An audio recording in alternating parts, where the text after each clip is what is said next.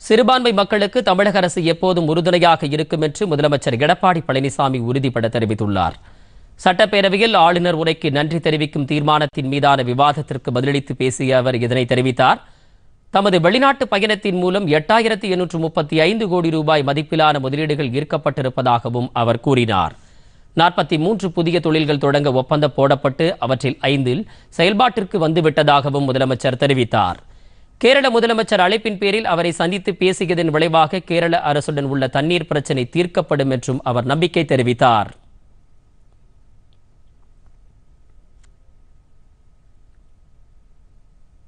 நன்னீர் தேவையை குறைக்கவும் நீர்நிலைகள் மாசுபடுவதை தடுக்கவும் கழிவுநீர் மற்றும் பயன்படுத்தப்பட்ட நீரினை சுத்திகரித்து மறுசுழற்சி முறையில் உபயோகிப்பதை பெருமளவில் ஊக்கப்படுத்தவும் நீர்வள ஆதார பாதுகாப்பு மற்றும் நீர் மேலாண்மை இயக்கம் என்ற ஒரு தீவிர மக்கள் இயக்கம் சென்ற ஆண்டு என்னால் துவக்கி வைக்கப்பட்டுள்ளது.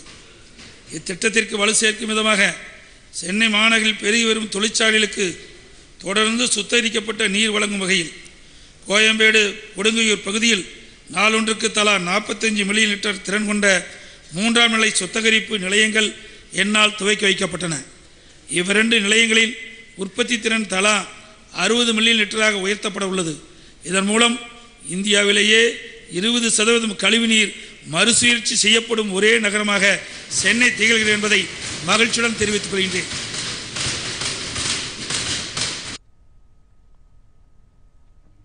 தமிழகத்தில் விரைவில் லண்டனில் பிரசித்தி பெற்ற கிங்ஸ் மருத்துவமனை அமைக்கப்பட இருப்பதாக கூறினார்.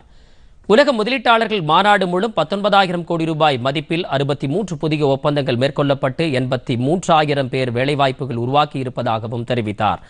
அரசின் செயல்பாட்டிற்காக மத்திய அரசிடமிருந்து தொடர்ந்து பல்வேறு விருதுகளை தமிழக அரசு வாங்கி வருவதாகவும் இதுவும் ஒரு சாதனைதான் என்றும் அவர் கூறினார். முன்னதாக கன்னியாகுமரி மாவட்டம் களியக்காவளை அருகே நேற்றிரவு வாகன சோதனையின் போது மர்ம நபரால் சுடப்பட்டு பலியான சிறப்பு உதவி ஆய்வாளர் வில்சன் மரணமடைந்த சம்பவம் குறித்து வேதனை தெரிவித்தார். அவரது குடும்பத்திற்கு தேவையான அனைத்து உதவிகளையும் வழங்குவதோடு குடும்பத்தில் ஒருவருக்கு அரசு வேலை வழங்கப்படும் என்றும் உறுதியளித்தார்.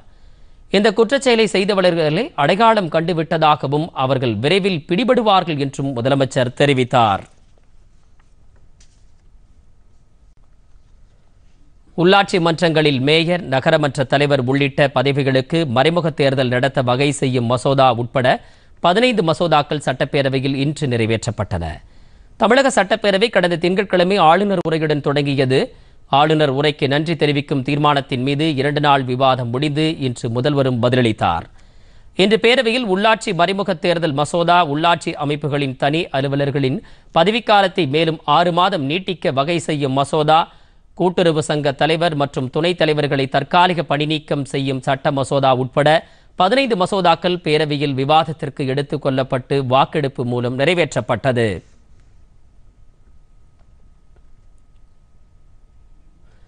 இதற்கிடையே இரண்டாயிரத்தி பத்தொன்பது இருபதாம் ஆண்டுக்கு ஆறாயிரத்தி ஐநூற்று எண்பது கோடி ரூபாய்க்கான இரண்டாவது துணை மானிய கோரிக்கைகள் சட்டப்பேரவையில் நிறைவேறின. இதனை துணை முதலமைச்சர் ஓ பன்னீர்செல்வம் தாக்கல் செய்தார். குடும்ப அட்டைகளுக்கு பொங்கல் பரிசு வழங்க இரண்டாயிரத்தி முன்னூற்று அறுபத்தி மூன்று கோடி ரூபாயும் இரண்டு மின் தொடர் அமைப்பு திட்டங்கள் நிறுவ நான்காயிரத்தி முன்னூற்று முப்பத்தி மூன்று கோடி ரூபாயும் ஒதுக்கீடு செய்ய அனுமதிக்கப்பட்டுள்ளது. முன்னதாக இன்று காலை நேரமில்லா நேரத்தில் தேசிய குடியுரிமை சீர்திருத்த சட்டம் தொடர்பாக சட்டப்பேரவையில் தீர்மானம் நிறைவேற்ற வேண்டும் என்று எதிர்க்கட்சித் தலைவர் மு க ஸ்டாலின் கொடுத்த கடிதம் குறித்து கேள்வி எழுப்பினார். அது பரிசீலனையில் இருப்பதாக பேரவைத் தலைவர் கூறினார். அதற்கு ஆட்சேபம் தெரிவித்து திமுக உறுப்பினர்கள் துரைமுருகன் தலைமையில் வெளிநடப்பு செய்தனர். பேரவைக் கூட்டத்தொடர் இன்றுடன் நிறைவடைந்தது. தேதி குறிப்பிடாமல் ஒத்திவைக்கப்பட்டது. பொதிகை செய்திகளை யூடியூப்பில் தமிழ் நியூஸ் தூர்தர்ஷன் என்ற சேனலிலும் ட்விட்டரில் Tamil news Doordarshan at DD news Chennai என்ற பக்கத்திலும் காணலாம்.